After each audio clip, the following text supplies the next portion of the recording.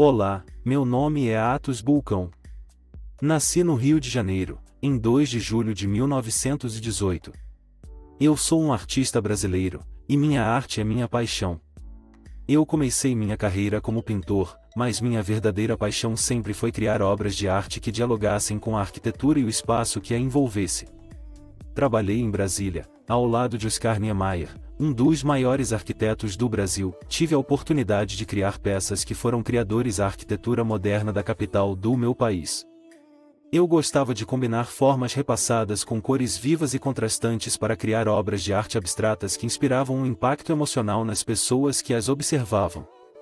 Meus murais são apreciados por pessoas de todas as idades e culturas. Eu sempre quis criar obras de arte que fossem acessíveis a todos, independentemente do seu conhecimento sobre arte. Site Área. Assista, acesse, ouça esta ideia.